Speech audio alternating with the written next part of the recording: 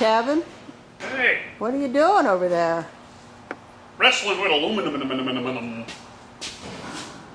This is a, a big public sculpture I'm working on at the moment.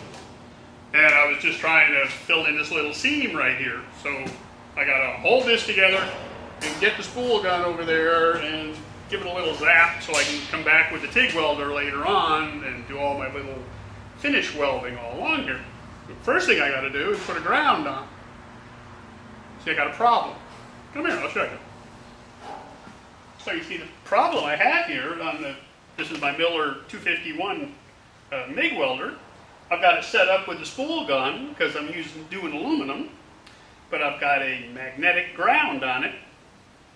Won't stick to the aluminum. Hmm, okay. So what I wanted to talk about was grounds. Got to be grounded all the time. I've got a metal table, so I could just hook it right to the metal table if I had to. But it's always best to have the ground on your work instead of on your table. Because if you put it here on your table and you're over here working on your piece, especially in the summer, like here in Arizona, and you get all hot, sweaty while you're welding, you can lean up against the table and get shocked because the current wants to go through you to ground rather than through the table back to the machine. So it's always best to have your ground on the work. Hmm, I don't have aluminum magnets. Wait a minute. But I do have clamps. So all you need to do is just clamp on your work. Anything that you can get your magnet to stick to. Now you got a good ground. Now you're safe. Nobody else is going to get shocked. And you can get your work done.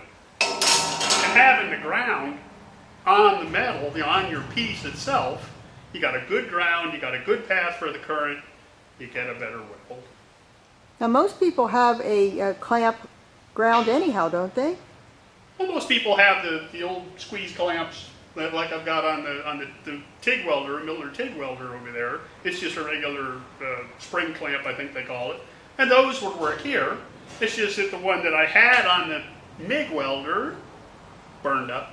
I was doing some some high you know some high amp welding, 150 amps worth of welding on the, the piece of three quarter inch plate steel, and I overheated it and it cracked, and I just had to change it. So I thought, well, let me try the magnet.